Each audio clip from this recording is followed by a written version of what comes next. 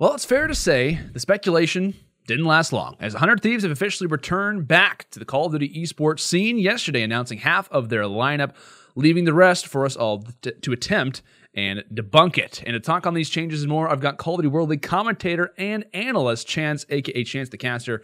What's going on today, buddy? Uh, not much. I'm just uh, excited about the news, excited about the changes, and ready for honestly the next season to kick off already.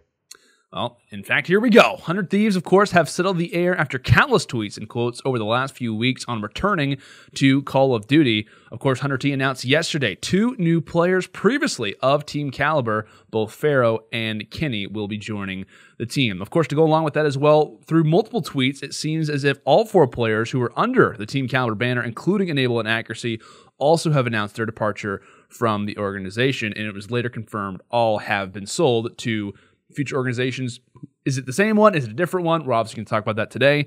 But before we go on to talk about the 100T announcement chance, what were your initial thoughts, right? When you saw when you started to see the tweets coming from the prior TK lineup saying they were leaving the roster, what were your initial thoughts? Did you thought did you think that maybe it was a hundred T like, you know, do you think that was possible they were going there or it almost would have had to have been right. Like you don't break up a team that gets second to champs, has three event wins, unless there's something that like might be better for individuals on the team. And I feel like 100 Thieves is one of the handful of organizations out there that could probably say, like, hey, player A, player B, I'm going to offer you this much more money than your previous contract, whatever it might be, and be able to convince those players. Like Nadeshot has pull in the competitive scene. If Nadeshot wants certain players on his team, He's gonna outside of maybe Optic Gaming, he can pretty much get who he wants.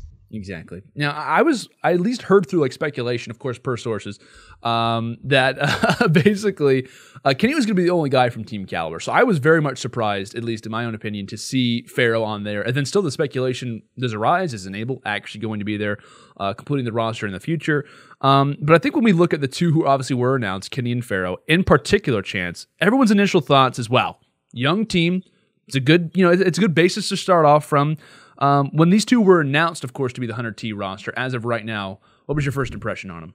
Well, I mean, they got the two superstars, really, of the TK roster that could win stage two playoffs, that could get second at champs, and interesting two players as well, because Kenny was the clear cut best SMG without real question. He was the most yeah. consistent one by far. Man played like a freak of nature every single event. Even when his team was getting beat, he was playing even better where there was like slack. And then Fero's obviously one of the best S&D players in the world, including all the pro players. His variant game started out pretty solid and ended yep. up really damn good. And he's only been playing it for a year now. So you're expecting Fero to get even better next year. You got the guy that was already the best this year. I mean, depending on who they pick up, they just got second at champs. They're going to be even more of a contender than they were this year. Definitely. And I think to kind of add along with the the titles that you were obviously deeming them as well, like I want to really talk about like really what they accomplished. And you could argue, Kenny, is it really his rookie season? Obviously, with a little bit of experience in back in Advanced Warfare, I'm going to give it to him. I'm going to say this kind of counts as his rookie season, his first time in the CWL. Season, exactly, yeah. CWL rookie season. So after one year, right? You're telling me in their rookie season, they both led top franchises throughout the CWL regular seasons. They want to come. they win right a combined four championships throughout the year. They play on the biggest stage in Call of Duty at the CWL Champs Grand Final and played very, very well, I might say, and finished as runners up. They both four are events? candidates. What? What's up? Four events? Yeah. What was number four? They both won uh, together stage two playoffs. Oh, I get what you're saying. It's, okay, my yeah, bad. combined, so, right? Gotcha. Well, no, gotcha. yeah, absolutely. Like these these titles are actually insane. Like, and then also you both could argue they're candidates, if not are rookie of the year. Yes. Fero's a candidate for search and destroy player of the year. Kenny is really, and there shouldn't be a contest, SMG Player of the Year, Breakout Player of the Year, and I think it's fair to say a candidate for Call of Duty World War II MVP. This is their rookie season chance, and they have all of those achievements along with them. Many people would hope for these accomplishments after a decade of playing, let alone a season, let alone a rookie season. It's, un- it's unreal. They're unbelievably good players. And like obviously the TK roster breaks up. So enable and accuracy, we don't know what happens to them yet. But there's also guys like Karma that are like waiting in the wings, and we don't know where he's gonna fall. And he's a guy that's been very, very vocal about wanting to be a main AR since he ended up getting dropped from the Optic Gaming team. And well, they have Pharaoh, they have Kenny, they need a main AR. And frankly, I don't know how many options other than like uh, Karma and accuracy are out there But if those are the two guys you're picking from, you really enjoy the spot that you're in if you're 100 Thieves. Well, now, yeah, I'm glad that you brought that up because I really want to discuss and, and, really talk about who potentially could be the new additions to kind of speculate who would be great uh, in partnership with Kenny and Fero. And I think, like I said, you could argue absolutely Karma is one of those options all throughout Reddit, all throughout Twitter. People are saying he's not playing for OG anytime soon, it seems like. He's done with the organization, and he seems like an obvious pick whenever Nature has talked about how he wanted one of the OG players that would be the one, and you could argue that'd probably be the easiest one to try to grab. Along with that, we still have the prior Team Kaliber players, accuracy and enable, of course, are both available. It seems like we don't really know officially uh, what organizations they're a part of, if they happen to be along with this one, uh, but those two guys are available. Um, I've personally heard rumors along the lines of players like Octane, guys like Slasher could be out there, along with John and JKap. So those are some maybe guys that we could add on paper to at least speculate from. And then also you have some interesting names as well. Dashy, if you can get him out of that complexity contract, those three would be. I know I, I feel the exact same way. Like that would be one of the most hype rosters, probably like the last three years for me. I don't think I'd be more excited to see a lineup like that altogether. And then you could maybe argue the same thing for Huke, right? Is in a pretty awkward spot with Envy. Seems to be locked in, but if you can get him, this new generation team would be an amazing story. That that would be like if if you get Dashy as a man AR on that team, I think so. He's the type of player that I think with the team that he would be on with 100 Thieves, you would need your fourth guy to be like a leader. Like you wouldn't like you could, might go for J Cap or something like that. If some guy that you read my mind over the comms in games, yeah. or even Enable would be a great pick for that as well. Because while yes, Dashy is a freak of nature, I feel like putting him on a team with Kenny and Fero, like that's a team that's going to need like a little bit more communication, someone to be making the decisions for the team, making the strat calls. Well, Fero is the strat caller for S and D, but for respawn at the very least. So I would be a little bit on edge if those were the first three that they picked up. But if, for example, if they picked up a J cap or an enable or someone is their third that you're very confident can be the leader, then like Dashy is a perfect pick. But at the same time, is he better than Karma at the main AR role? It's really tough to say. Who really knows? Is he better than Slasher? No, he's not. But that's also a team that would never lose an S&D, right? If you get Dashy, Fero, and Kenny on a team, I don't know who you put together to beat them in search and destroyed like ever. So yeah, no, the, a terrifying amount of potential between a lot of different players. Now, with the players mentioned, and maybe with a, a few others as well, Chance, if you became the CEO of 100 Thieves tomorrow, who are you looking at? Like, is there an ideal lineup? I know we listed a few players, but out of the ones maybe that you mentioned, you talked about JKap, we talked about Dashy, Enable, etc.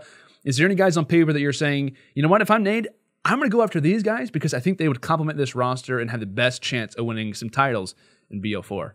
I mean, it depends on what the other contracts of players are on organizations. Obviously, if I was playing it safe, honestly, I would probably try to pick up accuracy right away. He just had the best year of his career. He was the duo with Kenny all year. And while I think there are still a few ARs that are clear cut better than accuracy, and literally I just mean like your slasher, your octane. Mm-hmm. And after that, even then it gets kind of meddled. So like unless you get one of those guys, I think accuracy would be a safe pickup to go for first because he gives you freedom for who you want to get as your fourth player as well. Accuracy is a good enough leader. He's good enough in comps. He's good enough at the post up AR role that whoever you get as your next sub or your next flex or whatever you want, because Fero can do both.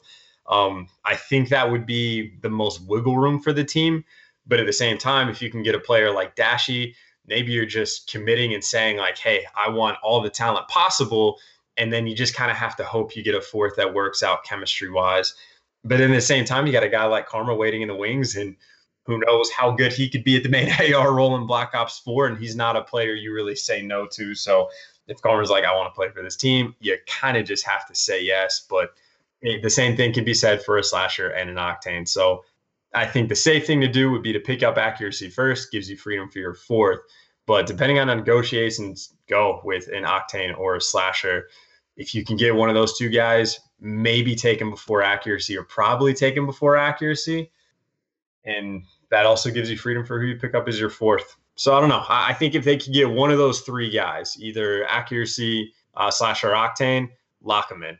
And then Karma, I think, like, I know he wants to be the main AR, but if he ends up on the team with accuracy and he still wants to play, make him like a flex or something like that, or maybe hope that Black Ops 4 is a 2 AR meta, or hope that Black Ops 4 goes to 5v5, and now you can pick up all these great players. So that's very fingers true. crossed for a lot of things. Exactly.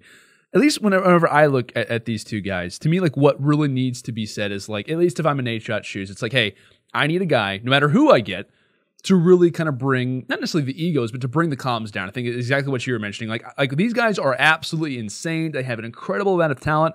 To me, I want to have that voice. If, if I'm Nate on this scenario, if I'm making this team, I want to have that voice that's influential, is incredibly important for future that I think this team wants to build is to have that kind of base of having a guy who has a lot of um, experience. So to me, at least for, for at least in my opinion, I would love to see a J Cap and a slasher. I would love to see a J Cap and a dashy. Of course, best scenario if you can get slasher, dashy, and or J Cap in the first place.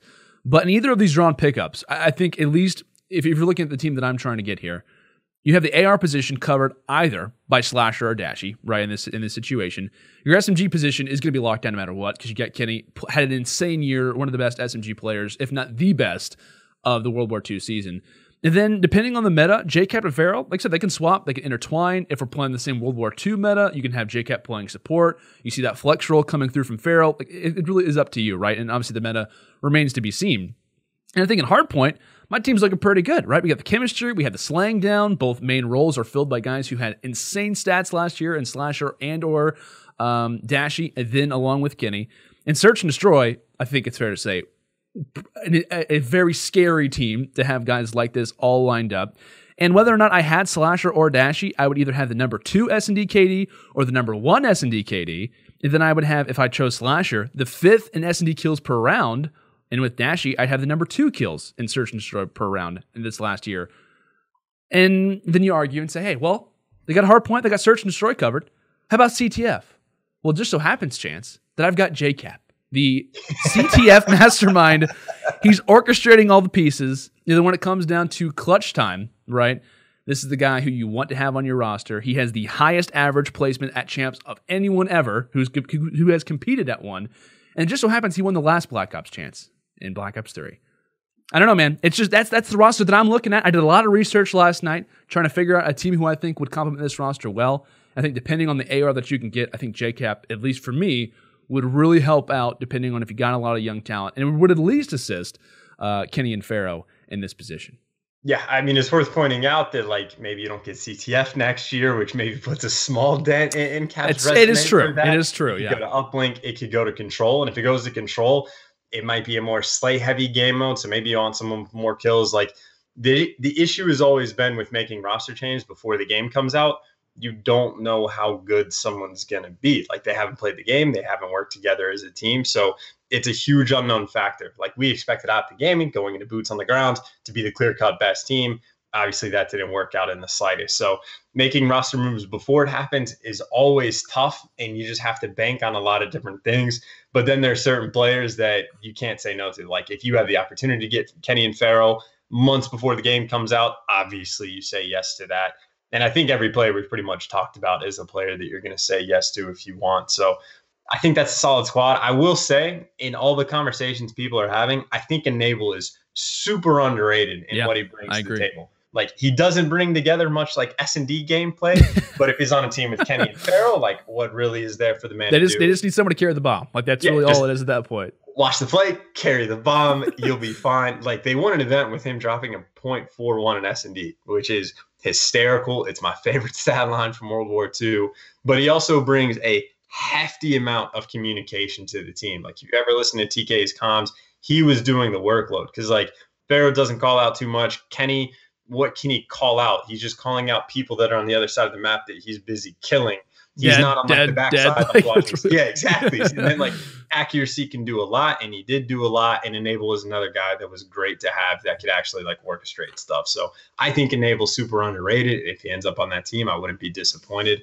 So I don't know. There, there's a lot of fun potential with 100 Thieves. They're definitely shaping up to be a powerhouse squad. Because then Nadeshot can also come to the table and say like, "Hey, I've got Kenny and Fero on my team. Who wants to play with these guys?" And everyone will just raise their hands like immediately. And I think too, like the draw that Nadeshot has as well when it comes down to this organization is insane. I, th- I, think we can both agree that coming into Call of Duty again, right, as Hundred Thieves is, Nadeshot is coming at this hard. And I mentioned this a few days ago on the Dispatch interview that I had with Paradox. We were kind of discussing the potential rumors of Hundred Thieves, like what the team is really going to be like. And I was like, I really think Nate is coming at this hard. He wants to be the best Call of Duty team in the world, and we even see we've even seen it as well in the NALCS. Whenever Hundred Thieves and um, Optic go up against each other, He was like, guys, if you beat Optic Gaming, I'm going to buy all of you Yeezys. Like it's it's getting this serious to where I want to beat them so bad that I'm willing to spend thousands upon thousands of dollars to add in that extra incentive for you guys to take these guys down. So I think when it comes down to Call of Duty, their history, where it kind of comes from this exact game, I think he wants to hit this hard, and I think he wants to destroy Optic at all possibilities. And then speaking of history, we didn't even mention he might be able to get Formal as well. Like Formal, who had like oh yeah, that's true. I think was still pretty good, but not up to Formal standards. Like at champs though, like that was a that was a performance and a half. That's what I'm saying. He came right. out with the fire, and you're going into Black Ops 4, which I think I would have to imagine is going to be more suitable form. Like the faster the game gets, the better form will get. So I think he's going to come back and have an amazing year uh, year next year. And if he ends up on a roster with Kenny and Fero, again, that that disgusting amount of potential for those guys. And I think too, there's like a lot of really solid like AR talent out there. Like we could we could like. Probably right now we could list like, hey, this is a top AR, this is a top AR, this is a top. I, I'm thinking of four right now that come to my mind. And SMGs though, it's kind of difficult to find that consistent guy who can drop like a 1.1 consistently. Like Kenny was really the only guy. I mean, you could throw a few out there, but like it is very difficult to fill that SMG role. They've already got that covered. So it's like out of the options that are available for an assault rifle player, we got like a, a, plethora. Like we got a full pool of guys. It's like, oh, that guy doesn't work out. It's fine. We still have this option. I feel like with Kenny, you've already got the All Star in that, and now it's just time to complement it when it comes down to the AR. But of course, getting back onto to Nadeshot's history as an esports professional, and more specifically as a Call of Duty esports professional, do you think that really benefits him a lot more than people might originally think whenever he's landing or trying to land top talent compared to other organizations because of his history, said, as an esports professional, and let alone as a Call of Duty esports professional? Do you think that maybe would equate to making players more interested in, in going with the Hunter T rather than say I don't know like an LG or an EnVyUs when they have that presence and that you know history that Nadeshot has. I, well, the the pull Nadeshot has, I have to imagine, is good enough to get a ton of players that are in the league, but maybe not necessarily the best. Like some of the best players aren't going to want to leave their org because their team is already good enough. Like Rise Nation, for example, those players have enough talent that if like we want to stick together next year, you wouldn't necessarily be crazy to leave, but it would take an insane opportunity for you to leave that team. But now that Nadeshot has Kenny and Fero as like chips in his negotiation table, yeah. then yes, he has all the pull in the world. Again, outside of like maybe Optic Gaming, I think he could probably get almost whoever we wants, obviously depending on like what the contracts are. Yeah, exactly. So of course, with all that speculation kind of out of the way, I think the only question that does remain as of now uh, is what's what's the future of Team Kaliber? Now, this, is totally like out there question. I, I, I see the reaction on your face. Like, where does Team Kaliber go from here? I know I saw a few tweets actually coming in from Cosdiff saying like, "Hey, we need to reach out, try to get some investors."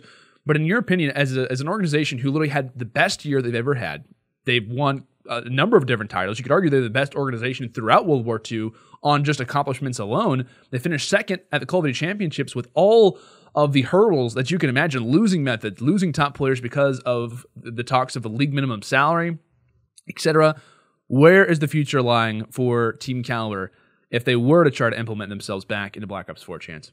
I mean, that's a tough one, right? Because, like, I was even saying, like, Nadeshot, a, a guy that's on the Mount Rushmore of the Call of Duty scene, I don't think he has enough pull by himself to land whoever he wants. He needs some like negotiation chips, right? And he's got those. And I think Team Kaliber obviously is going to be less impactful, less pull than Nadeshot has. But then, I, what what chips do they have at the table? Like if they lost their entire team and are starting from scratch, I don't even know what players from other pro league teams are even available to go after or to poach or to anything. So I, I genuinely don't know what the landscape is like for them. They might have to basically start over with amateur players, if you will. Like I find like the old Lightning Panda squad, maybe look at guys like that. Who Bring back Theory and Gunjar. Let's let's let's make another run, boys. they, I, I, don't see what else you could really do. Uh, again, depending on what the contracts are, is you always have to say they don't have any play. Like they're starting from complete scratch.